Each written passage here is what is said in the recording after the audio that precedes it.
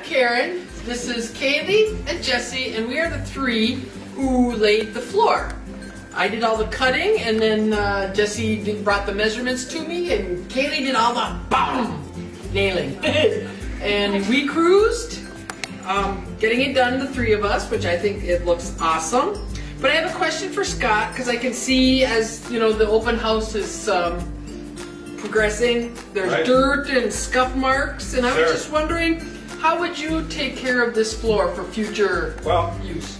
well, to use Stain Fu on it, um, I would just use it as a surface cleaner. Oh, really? Yeah, and it's it's really simple. You just spray your towel, and then Okay, or a sponge or something. a sponge would work. There's Okay. some mud right here. We'll just Uh-huh. wipe it up, and you can see it just walk.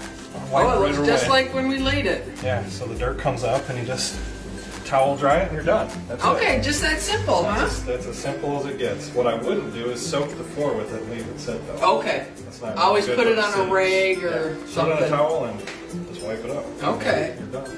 Yeah, it looks awesome. Yeah. Well, thank you for that. Sure, thanks. Yay! Everybody, thumbs up. All right.